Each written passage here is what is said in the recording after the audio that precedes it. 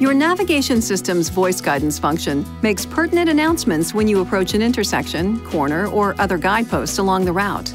It gives turning instructions and announces the remaining distance to the destination. Directions are given in ample time to prepare and proceed. Voice guidance can be repeated by touching the voice key on the currently displayed map screen. To turn this feature on or off, touch and hold the voice key on the current map screen for approximately two seconds. Please see your navigation system's owner's manual for important safety information, system limitations, and additional operating information.